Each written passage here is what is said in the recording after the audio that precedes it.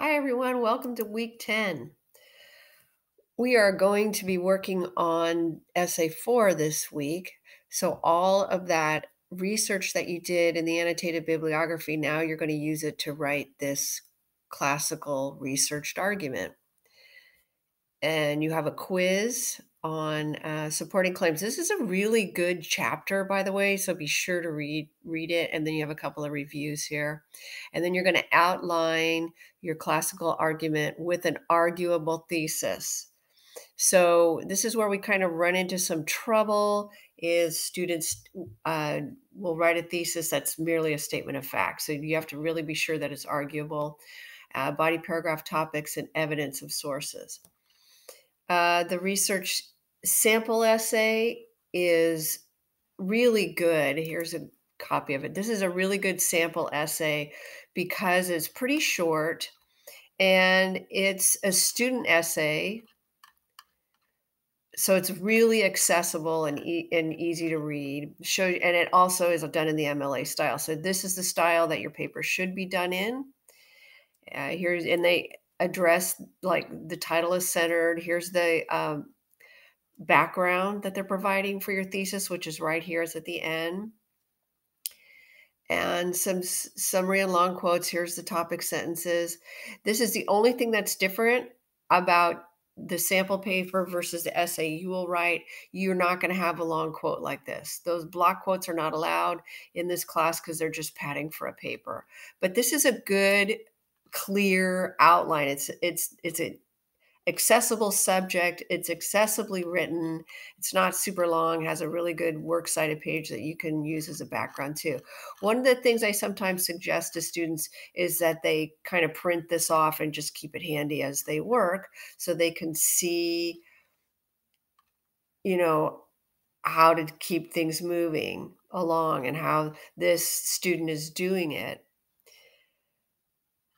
And uh, it also presents the a counter argument. So here's the counter argument down here and support for the counter argument. And in your paper, your counter argument is going to be at least a page long, but that's we're not worrying about that today or this week. That is a project for a later week. Um, your reading quiz is about supporting claims. Here's the sample research paper. These two PowerPoints are really good. I would highly suggest that you go through them. They're not a repetition of this book at all. They're from a completely different source and they they come at writing a classical argument in a slightly different way. Here's your prompt. So you've read this uh, before, and it basically asks you what is an argu- arguable, controversial issue or ethical dilemma in your major that you would like to address. So, this is what you did in the annotated bibliography. You look for resources to support your argument there. And it says you're going to use at least five of the articles from your annotated bibliography. Essay two is your sources. And it also says at this point, many students discover they need to do a little bit more research. If needed, you may use up to 10 college level articles from various sources to complete your essay. And the key phrase here is see this in bold 10 college level articles. I've even in your annotated bibliography, some of you went out on the web and just looked at, you know, good housekeeping 10 tips on a healthy life. No, that's not a college level source. Um, and it also says absolutely no part of your annotated bibliography or rhetorical analysis will appear in your research argument. That is plagiarism and will be treated as such. How am I going to know if you do that? It'll all come up highlighted because you already submitted those two papers to the database. So you can't use any of it. That's I've said this over and over throughout. So just be aware, don't do it again, they talk about the sample. So here's what you're doing today. Step one is the outline it's worth 15 points. So you're going to produce this outline, and at the top of the page, you're going to write your major at the top of the page. Okay, just write, you could just write a header, major, colon, and then write it out. And then you're going to, you could write thesis, colon, and then write your argumentative thesis statement at the top of the page. And this may have changed since your annotated bibliography. And what I mean is, not the whole entire topic, but just the way it's worded. I would hope that by this time it has changed so that you've refined it a little more. And and even by the time you write the final draft, you'll refine it even more. So, especially look at this point the prose, the flow, how it sounds, that it is arguable, that it addresses, you know, the topic. So, you're going to have these two things. You're going to structure your outline around your body paragraph topic sentences. Okay. So, you're going to have the only sentence, real sentences you're going to have in this outline are the thesis statement and the body paragraph topic sentences. And underneath each body paragraph, you're going to have uh, evidence from varied sources. And it says strive to get three sources per paragraph. If you only have one source in a paragraph, you're not going to earn an A. I'll just flat out tell you that right now. So you need to have at least two different sources in all your paragraphs. Three is better because if you only have one, it's like, who cares? This one guy believes this thing. So what? If you have two, then it's like, well, maybe, you know, okay, kind of people are, but when you have three, that's pretty solid that there are, you know, different sources that are saying this, this supporting the same ar- argument you are. You're going to include a counterargument session that addresses the strongest counterarguments to your thesis. And it's up to you to decide if this section should go before or after you present your argument. So some people like to do it right after the introduction. Some people like to do it right before the conclusion.